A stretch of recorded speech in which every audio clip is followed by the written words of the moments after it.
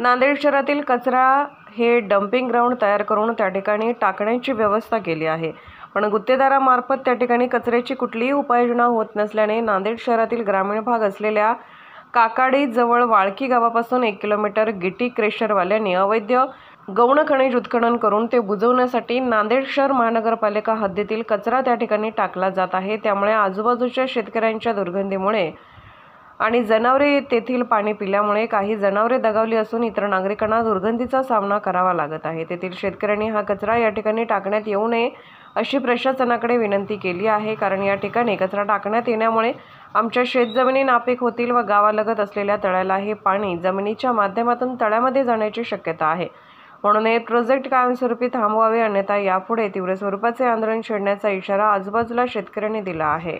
मी संतोष गुणाजी बेटकर बोलतो.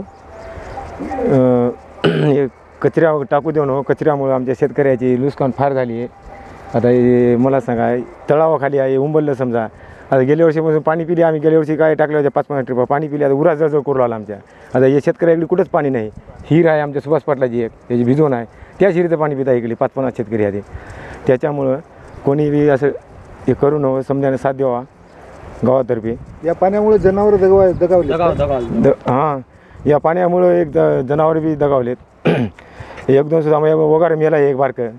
प्रशासनाकडे काय हा. मागणी राहील की बाबा हे टाकू नो असं घाण बरोबर नाही. आमचा एक आमच्या शेजार भावाचा बैल मेला. इथं आल्यानं पाणी पिऊन. हां. त्याचा बैल मेला. असं टाकू नो बाबा गावातर्फे येणे असे आमचं सरकारला विनंती आहे. हे काहीतरी बंदोबस्त करावा. मी व्यंकटी शिवराम बेटकर राहणार वाळकी. तालुका लोहा जिल्हा नांदेड. इथून शेतकरी असून महानगरपालिकेच्या तर्फे हे जे कचरा आहे ते आमच्या शेताच्या बाजूला खडा आहे.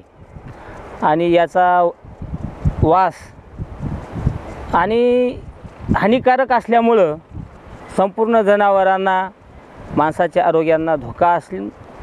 हे धोका माणसाचा जीव घातक आहे. आणि ह्या खदानीमध्ये पाणी जनावरांना पाणी पाजण्याकरता सर्व शेतकरी इथं आम्ही येत होत्या पण आता हे पाणी कचरा टाकल्यामुळं दूषित झालेलं आहे खराब. पाणी सगट आमच्या जनावरांना पाजिता येत नाही. आणि याच्या खाली तलाव आहे वाळकीचं तलाव. आणि त्या तलावामध्ये एकदा एक खदान कचरा भरला आणि जर इथून पाणी तलावात गेलं तर त्या तलावातल्या परिणाम पाण्याचा सुद्धा दूषित होईल. सर्व गावांना ते हानिकारक आहे. किती गावांना ते तलावाचं पाणी जातं? त्या तलावाचं पाणी वाळकी आमच्या गावातलाच फायदा आहे सर्वांच्याच. आणि शेतामध्ये भिजविण्यासाठी आहे जनावरांना पिण्यासाठी आहे. आणि ते सगळ्यांचं आरोग्य जनावराचं माणसाचं सर्वांचं आरोग्य धोक्यात असल्यामुळं आम्हाला हे महानगरपालिकेचा कचरा ह्या खदानीमध्ये टाकू नये. जरी मालकी असलं तरी पुऱ्या गावाला हानिकारक आहे. संपूर्ण गावकऱ्याच्या वतीने मी सांगू शकतो की माझंच नाही तर सगळ्या गा गावाचं आरोग्य धोक्यात या महानगरपालिकेच्या कचऱ्यामुळं येणार आहे.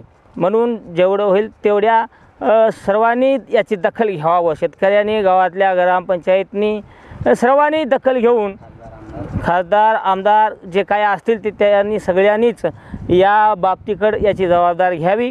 तरच आमचं आरोग्य ठीक राहील. नाहीतर अन्यथा आम्हाला पाणीसुद्धा प्यायला मिळणार नाही. असे माणसाची परिणाम वाईट अवस्था होईल अशी मी सरकारना सर्वांना विनंती करतो. लोकनायक न्यूज.